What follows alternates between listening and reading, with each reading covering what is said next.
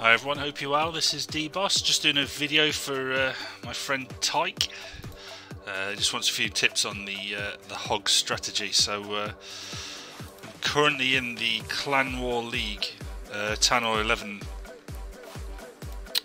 Uh, it's called Team Privilege, that's it. So let's have a quick look then. Uh, where are we? I think it was War 6. I think it was that one. Yeah, Chaos Theory. Right then.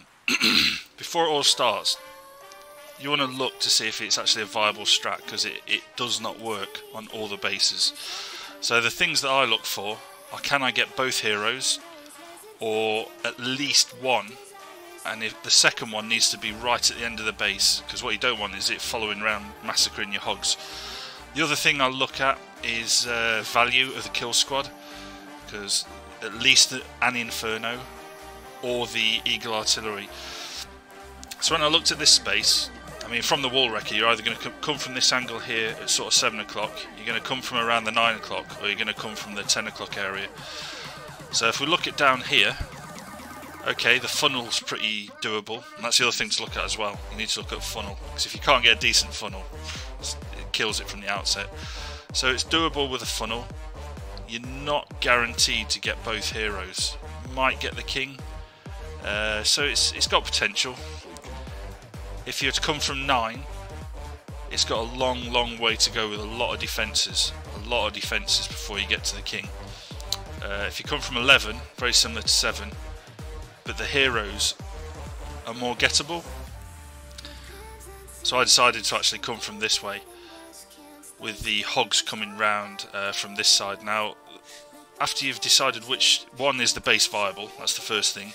Two, your entry route.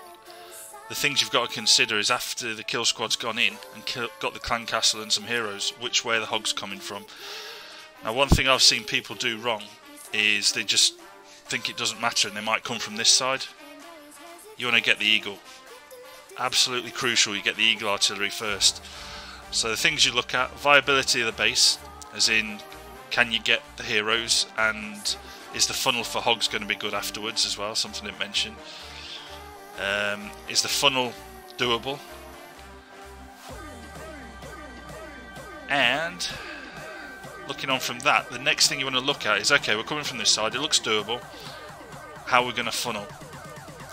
So it's not the same. It's like with every, every other base. You don't just put golems down or ice golems or wizards and just assume it'll work. You can do it, it might work. So I looked at this and I, I looked where the uh, air defences were, which and the archer towers.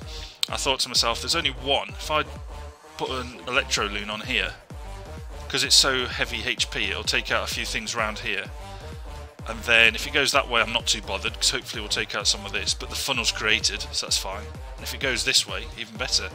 So I decided on an electro loon here for this side. And what I'd always do is put down a loon first, uh, just to get rid of any seeking air bombs. Um, oh, is that the same tune I've just had on? It is. Let's put a different one on. Sorry about that, Tyke.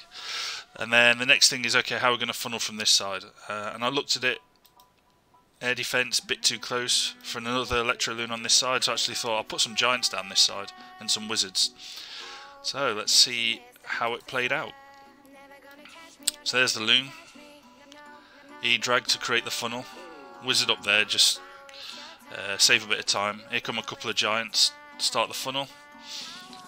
I always save two or three wizards for cleanup. So these giants are purely to stop the Inferno melting your wall wrecker, because you need your wall wrecker to get through to about here.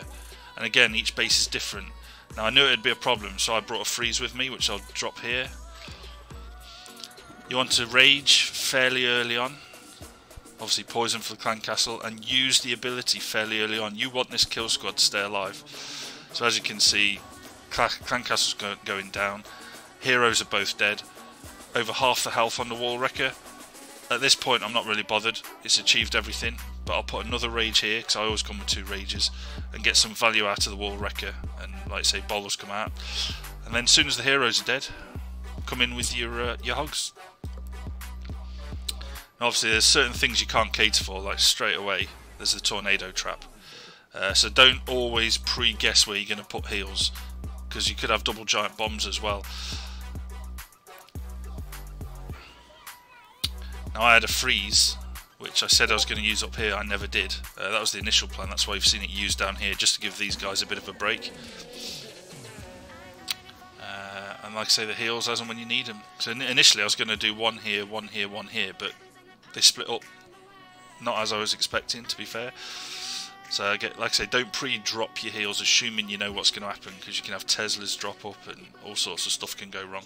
As you can see, the Queen's still alive. I think I put a wizard up here just to, uh, or down here, I can't remember now. Everything's dead. I think we've got about half a dozen hogs left. 25 seconds. I think there's about another 30 seconds on the actual wall left. Uh, hit left. There's more than half a dozen. So that's it. Pick your base. It won't be it won't be perfect for every single base. You need to be able to get the heroes, a good funnel afterwards for the hogs. You need to be able to set the funnel up because if it fails from the start, it's over. And then just uh, yeah, plan accordingly. Now, just looking at the uh, the layout, I'm quite heavy on the uh, the funneling troops. There's 30 there, 25 there. So that's that's 60 plus. then before we even get to the kill squad, I always think you can do it with 26. 28 is fine. You don't need any more than that. Just to give you a rough idea. And this is a spell comp: three heals, two rages, and that in your clan castle. That is it. I hope it helps you, matey, and uh, good luck using it in the future. See you soon.